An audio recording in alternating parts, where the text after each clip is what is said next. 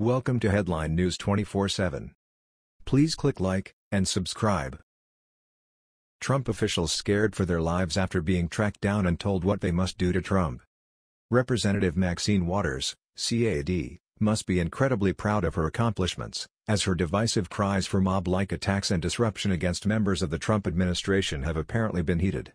Waters told the crowd to keep families together rally, if you see anybody from that cabinet in a restaurant, in a department store, at a gasoline station, you get out and you create a crowd and you push back on them, and you tell them they're not welcome anymore, anywhere. The left is clearly taking her advice, as once again a member of the Trump administration was simply trying to eat a meal and minding his own business.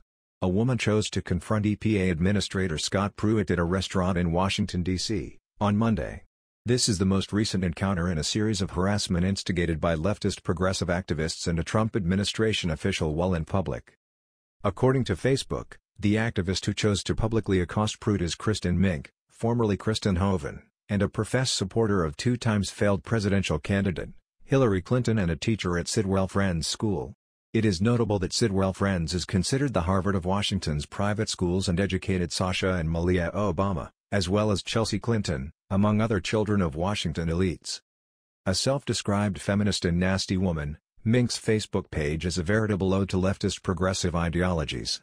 A supporter of climate change, abortion, Black Lives Matter, as well as open borders and the abolition of ICE, Mink has dedicated her social media profile as a veritable shrine to her efforts to impeach the current sitting president, Donald Trump.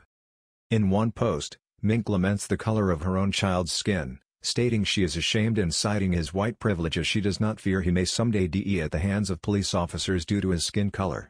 Mink chose to accost Pruitt while eating out in Washington, D.C. on Tuesday evening with her young son in tow. She approached Pruitt's table and began berating him and urging him to resign. The 33-year-old resident of Silver Springs, Maryland was dining with her husband Ryan three tables over the Teaism restaurant just four blocks from his office at the EPA's headquarters. When her husband pointed Pruitt out to her, she stated to the New York Post her initial reaction was he's the worst. She then made the decision to confront him. While holding a notepad of prepared remarks, she sputtered out an introduction with her young son on her hip. The heavily tattooed Mink began reading to Pruitt from her prepared remarks, as her husband recorded the entire debacle. Mink stated, Hi, um, I just wanted to urge you to resign because of what you're doing to the environment. This is my son, he loves animals, he loves clean air, he loves clean water, we deserve to have someone at the EPA who actually does protect our environment. Someone who actually does believe in climate change and actually takes it seriously for the benefit of all of us, including our children, so I would urge you to resign before your scandals push you out. The video ends shortly after Mink finished stumbling rant at Pruitt and then Mink claims Pruitt left the restaurant before she returned to her seat. It has been mind-boggling watching the left come to the conclusion that it is rational and socially acceptable to harass politicians they do not like in public. Throughout the exchange, Pruitt can be seen calmly looking at her, paying attention to what she is saying, though he says nothing throughout the exchange he did thank her when she was finished and Mink was allowed to speak freely. He literally said nothing, she told the Post.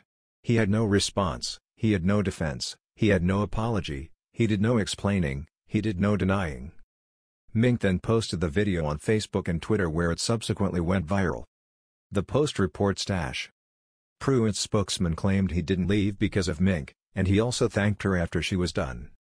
Administrator Pruitt always welcomes input from Americans, whether they agree or disagree with the decisions being made at EPA.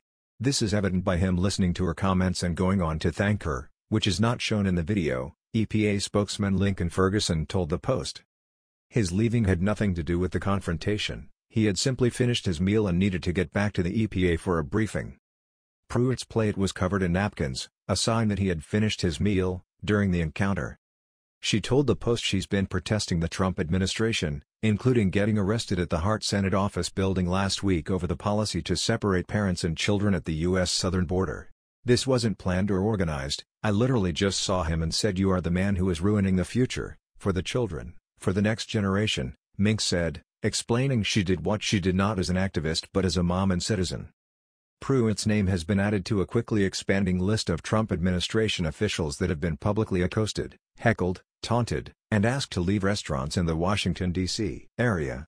Recently, White House Press Secretary Sarah Huckabee Sanders was famously turned away from the Red Hen restaurant in Lexington, Virginia by its owner last month, and Homeland Security Secretary Kirstjen Nielsen was infamously heckled by a group of self-professed socialist protesters who loudly interrupted her dinner at a local Mexican restaurant.